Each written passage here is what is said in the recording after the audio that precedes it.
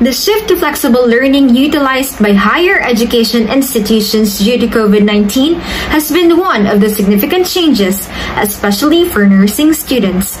Good day, fellow researchers, College of Nursing, and the University of St. La Salle community. I am Aileen Baroy, and together with me are my group mates, Maverick Aruta, Jill Barazan, Vonn Castro, and Christian Celiz. We are from 3A Group 1B presenting our research paper entitled Conduciveness of Nursing Students' Learning Environment During the Virtual Learning. With COVID-19, remote learning in all forms became necessary to facilities for education. Thus, investigating its impact on the learning process of nursing students is essential. The purpose of this study is to discover whether this shift in the profile variables type of geographical area, connectivity category, physical space, and gadgets used during online class truly affect the student's productivity, performance, and support system so that this study may serve as a guide for improved means in making the nursing students' environment conducive to learning according to their environment at home. For the objectives, the study aimed to determine the conduciveness of nursing students' learning environment in virtual learning. Specifically, the study sought to answer the following questions. Number one, what is the profile of level 3 nursing students in terms of the following? Type of geographical area, connectivity category, physical space, and gadgets used during online class. Number two, what is the level of conduciveness of nursing students' learning environment in virtual learning in terms of the following? Students' productivity, students' performance, and student support system. Lastly, is there a significant relationship between the level of conduciveness of nursing learning environment aspects in terms of the following aspects and the aforementioned profile variables? Students' productivity, students' performance, and student support system.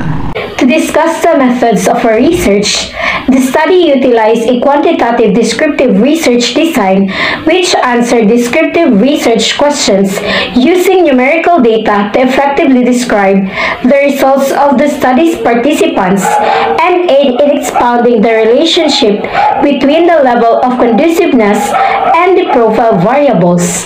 For the participants, they should be a bona fide student of the nursing school for the academic year 2021 to 2022, should belong to level 3, and lastly, from section A to G. The total population is 268. Then, Yamane's formula was used to solve the sample size with a 5% margin of error, resulting in 160 participants.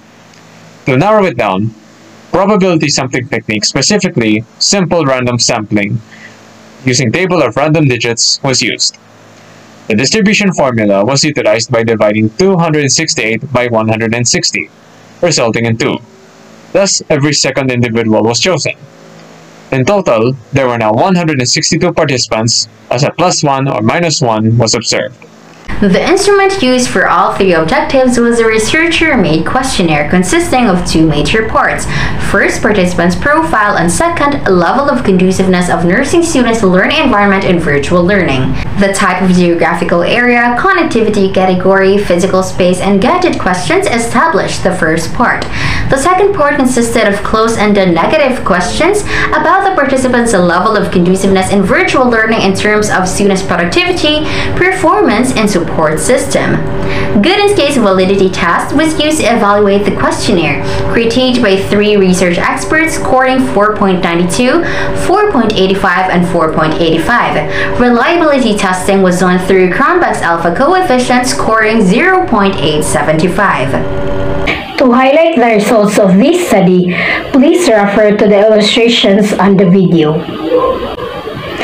In terms of the frequency and percentage distribution of the profile of the level 3 nursing students, the majority live in urban areas, have a connectivity category of 2A with limited connectivity and laptop and desktop have a physical space of which translates to a personal room with a study space away from noise distractions, a study table, and a good lighting for studying. The gadgets used were both laptops and cell phones.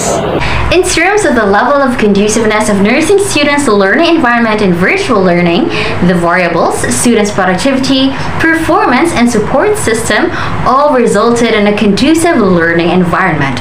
Students' productivity with a mean of 3.35 and a standard deviation of 0.68, students' performance with a mean of 3.27 and a standard deviation of 0.71, and student support system with a mean of 2.78 and a standard deviation of 0.71.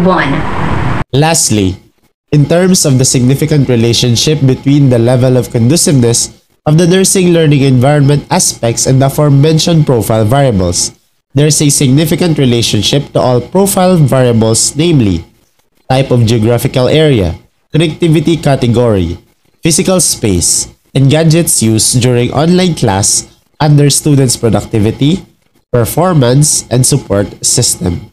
However, there's an exception as the geographical area's frequency under students' performance show that there is no significant relationship. With these findings, the researchers conclude that the level 3 nursing students of one of the nursing school in Negros Occidental has a conducive learning environment during the virtual learning. This study may be of significance to the nursing education as it composed of the information that aids the readers in understanding the difficulties of the nursing students, especially after the shift to virtual learning. This may help provide solutions to the affected beneficiaries of society as well. Thus, future researchers have the vital task of identifying new and improved strategies that can assist nursing students in coping should virtual learning continue. Based on the outcomes of this study, the following recommendations were made. Nursing school administrators may advocate for improved technology and may create programs that address the lack of internet, particularly for students residing in rural areas. Clinical instructors may regularly give feedback and interact with their students so they will remain engaged in both asynchronous and synchronous classes. Nursing students are recommended to have access to a good internet connection or have sufficient sufficient mobile data to participate in online classes fully.